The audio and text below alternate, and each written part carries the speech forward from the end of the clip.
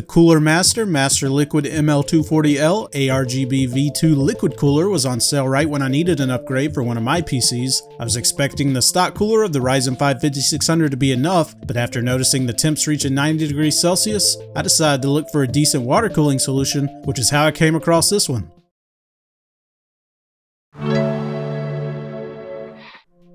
It features a 240mm radiator, two SickleFlow 120mm ARGB fans, Cooler Master's third generation dual chamber pump, and a tool-free mounting brackets with compatibility for AM4, AM5, LGA 1700 sockets, and more. For those with a motherboard that does not have ARGB support, an optional LED controller is included that allows you to manually adjust the colors, brightness, and effects without the need for installing any software. The dimensions of the radiator are 277mm by 119.6mm by 27.2mm, and the pump dimensions are 79.9mm by 76mm by 47.1mm. The box material is fairly standard with a dimension of 15.51 inches by 1.07 inches by 4.71 inches.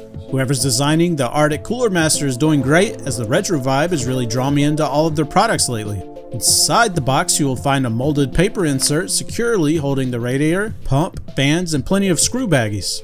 We don't have any game tests to view, but we do have TimeSpy results from before and after the upgrade. With the stock cooler we receive a CPU score of 7415 and with the water cooler we improved with a CPU score of 7696 which is around a 4% increase in performance.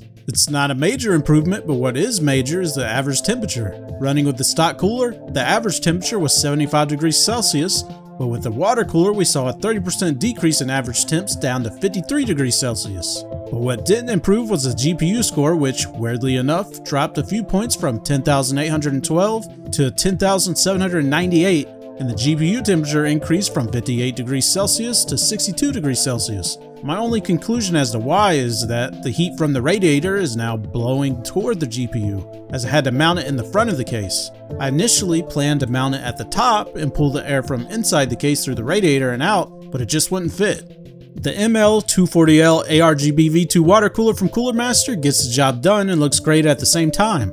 The only issues I ran into were my fault, as I didn't measure anything before trying to fit it in my specific PC case. The RGB lighting worked as expected and MSI's Mystic Light had no issues adjusting the colors.